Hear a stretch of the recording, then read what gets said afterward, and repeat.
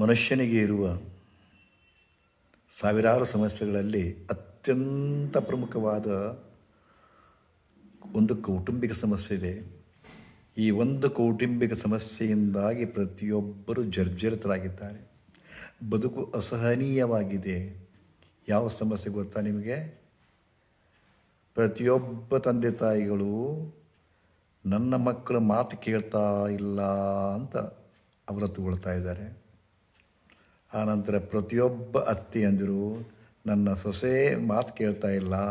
ನನ್ನ ಮಗನಿಗೆ ಆಕೆ ಕಿವಿ ತಿವಿರಿಗಳ ಹೀಗಾಗಿ ಬ್ಯಾರೆಗಳ ಈ ಥರದ ಸಮಸ್ಯೆಗಳನ್ನು ಹೊತ್ತುಕೊಂಡು ನನ್ನ ಮುಂದೆ ಬರ್ತಾ ಇದ್ದಾರೆ. ನಾ ಹೇಳೋದು ಇಷ್ಟೇ. ಯಾಕೆ ಯಾಕೆ ನಿಮಗೆ ಸಂಕಟ? ಯಾಕೆ ಅವಲತ್ತುಗೊಳ್ತೀರಾ? ಯಾಕೆ ಚಿಂತೆ ಮಾಡ್ತೀರಾ? ನೀವು ಈ ಹಿಂದೆ ಏನು ಮಾಡಿದ್ರೋ ನಿಮ್ಮ ಬದುಕಿನೊಳಗೆ ಅದನ್ನೇ ಅವರು ಮಾಡ್ತಾ ಇದ್ದಾರೆ. ತಂದೆ ತಾಯಿಗಳಾಗಿ ನೀವೇನು ಮಕ್ಕಳ ಮಾತು ಕೇಳ್ತಾ ಇಲ್ಲ ಅಂತ ಹೇಳ್ತಾ ಇದ್ದೀರಾ? ನೀವು ನಿಮ್ಮ ತಂದೆ ತಾಯಿಗಳನ್ನ ಮಾತು ಕೇಳಿದ್ದೀರಾ? ಅದು ರಿಪೀಟ್ ಆಗ್ತಾ ಇದೆ. ಅತ್ತಿಯಾಗಿ ನಿಮ್ಮ ಸೊಸೆ ಮಾತು ಕೇಳ್ತಾ ಇಲ್ಲ, ನಿಮಗೆ ಗೌರವ ಕೊಡ್ತಾ ಇಲ್ಲ ಅಂತಕೊಂಡು ಹೇಳ್ತಿರಲ್ಲ ನೀವು ನಿಮ್ಮ ಅತ್ತಿಗೆ ಕೊಟ್ಟಿದ್ದೀರಾ? ಹಾಗೆ ನಡೆದಿದೆ ಇದು. ಹ್ಞೂ ಅನೂಚಾನವಾಗಿ. ನೀವು ತಿಳ್ಕೊಂಡಿದ್ದೀರಿ. ಹ್ಞೂ ಗೋಲ್ ಗುಮ್ಮಟ ಬಿಜಾಪುರದಾಗ ಐತಿ ಅಂತ ತಿಳ್ಕೊಂಡು. ಹ್ಞೂ ಹ್ಞೂ ಗೋಲ್ ಗುಮ್ಮಟ ಈ ಇಡೀ ವಿಶ್ವವೇ ಗೋಳು ಗುಮ್ಮಟದ ರೀ ನಿಮ್ಗೆ ಗೊತ್ತಿಲ್ಲ? ಗೋಳುಗುಮ್ಮಟ ಹೊರಗೂ ಇಲ್ಲ, ಬಿಜಾಪುರದಾಗೂ ಇಲ್ಲ, ಎಲ್ಲೂ ಇಲ್ಲ.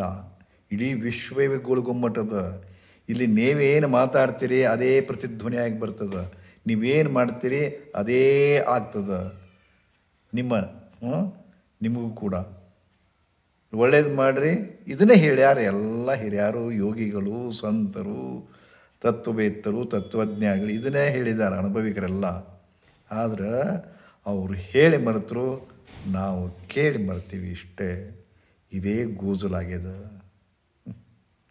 ನಾನು ಇಷ್ಟು ಹೇಳಿದ ಮೇಲೆ ಯಾರು ಸುಧಾರಿಸ್ತಾರೆ ನೀವು? ಇಲ್ಲ. ನಿಮ್ಮನ್ನು ಸುಧಾರಿಸ್ಲಿಕ್ಕೂ ನಾ ಹೇಳ್ತಾ ಇಲ್ಲ. ನೀವು ನನ್ನ ಮಾತನ್ನು ಕೇಳಿದ ಕೂಡಲೇ ಸುಧಾರಿಸ್ತೀರಿ ಅನ್ನೋ ಭ್ರಮೇನೂ ನನಗಿಲ್ಲ. ಯಾಕಂದರೆ ಜಗತ್ತೇ ಹಂಗದ? ಯದ್ಭಾವಂ ತದ್ಭವತಿ. ನಾವು ಹೆಂಗಿದ್ದೀವೋ ಹಂಗೆ ಜಗತ್ತದ. ನಾನು ನನ್ನ ತಂದೆ ತಾಯಿ ಮಾತು ಕೇಳಲಿಲ್ಲ ಅವನಿಗೆ ಅಭಿಧೇಯಾಗಿ ನಡ್ಕೊಂಡೆ. ಈ ನನ್ನ ಮಗ. ನಾನು ಅತ್ತೆಯಾಗಿ, ಸೊಸೆಯಾಗಿ ಅತ್ತೆಗೆ ನಾನು ಗೌರವ ಕೊಡಲಿಲ್ಲ, ಅವರ ಮಾತು ಕೇಳಿಲ್ಲ. ಅದು ರಿಪೀಟ್ ಆಗ್ತಾ ಇದೆ. ಎಷ್ಟು ಸರಳದಲ್ಲ ಸೂತ್ರ. ಬದುಕಿನ ಸೂತ್ರ, ಈ ಸರಳ ಸೂತ್ರವನ್ನು ನೀವು ಅರ್ಥ ಮಾಡಿಕೊಳ್ಳದೆ ಹೋದದ್ದಕ್ಕೆ ಇದೆಲ್ಲ ಅನುಭವಿಸಬೇಕಾಗಿದೆ. ಮತ್ತು ಅನುಭವಿಸಬೇಕು, ಅನುಭವಿಸ್ರಿ. It is inevitable no other go ಅನುಭವಿಸಲೇಬೇಕು ಯಾಕಂದ್ರೆ ನೀವು ಮಾಡಿದ್ದೇ ಇದು. ಹಿಂದೆ ನೀವೇನು ಮಾಡಿದಿರಿ ಅದನ್ನೇ ಉಣಿಸ್, ಉಣ್ತಾ ಇದ್ದೀರಿ?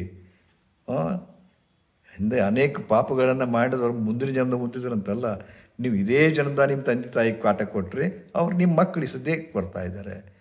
ನೀವು ಇದೇ ಜನ್ಮದೊಳಗನ ನಿಮ್ಮ ಸೊಸೆಗೆ ಕಾಟ ಕೊಟ್ಟರೆ ಆಕೆ ಇದೇ ಜನ್ಮದೊಳಗೆ ನಿಮಗೆ ಕಾಟ ಕೊಡ್ತಾ ಇದ್ದಾಳೆ. ಅಷ್ಟೇ. ಹಾಂ? ನೀವೊಬ್ಬ ಅತ್ತೆ ಆಗಿಬಿಟ್ರಿ. ಹೇಗೆ ನೀವು ಅತ್ತೆಗೆ ಸೊಸೆಯಾದಾಗ, ಹಾಂ? ಅದು ಸೊಸೆಗೆ ಅತ್ತೆಯಾದಾಗ ಹೇಗೆ ಕಾಟ ಕೊಟ್ಟರೋ, ಅದೇ ಥರ ನೀವು ಕೂಡ ಅನುಭವಿಸ್ತಾ ಇದ್ದೀರಿ ಅಷ್ಟೇ. ಅದನ್ನೇ ಅನುಭವಿಸ್ತಾ ಇದ್ದೀರಿ. ನೀವೇನು ಮಾಡಿದ್ದೀರಿ? ಅದನ್ನೇ ಅನುಭವಿಸ್ತಾ ಇದ್ದೀರಿ. ಎಷ್ಟು ಸರಳ ಸೂತ್ರದ, ಬಟ್ ಬದುಕನ್ನು ಗೋಜಲು ಮಾಡಿಕೊಂಡವರು ನೀವು ಇಷ್ಟು ಸಣ್ಣ ಸೂತ್ರ ನಿಮಗೆ ತಿಳಿದೇ ಹೋಯಿತು, ತಿಳಿಯದೇ ಹೋಯಿತು ಅನುಭವಿಸ್ರಿ ಅಷ್ಟೇ?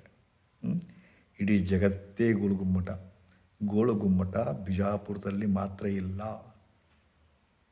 ಈ ಜಗತ್ತೆಂಬ ಗೋಳುಗುಮ್ಮಟದೊಳಗೆ ನೀವೇನು ಮಾತಾಡ್ತೀರಿ? ಅದೇ ಮಾತು ಪ್ರತಿಧ್ವನಿಯಾಗಿ ಬರ್ತದೆ. ನೀವೇನು ಮಾಡ್ತೀರಿ? ಅದೇ ನಿಮಗೆ ವಾಪಸ್ ಬರ್ತದೆ. ಕೆಟ್ಟದ್ದು ಮಾಡ್ತೀರಿ, ಕೆಟ್ಟದ್ದೇ ಬರ್ತದೆ. ಒಳ್ಳೆಯದು ಮಾಡ್ತೀರಿ ಒಳ್ಳೆಯದೇ ಬರ್ತದೆ. ಕನ್ಫ್ಯೂಷನ್ ಮಾಡ್ಕೋಬೇಡ್ರಿ ನನ್ನಂಥ ಸಾವಿರ ಸಾವಿರ ಜನ ಇದನ್ನೇ ಸಾರಿ ಸಾರಿ ಹೇಳ್ಯಾರ. ಹೇಳಿದಿರಲ್ಲ, ನೀವು ಕೇಳ್ತೀರಿ, ಮರಿತೀರಿ. ಶ್ರೀ ಗುರುದೇವ್.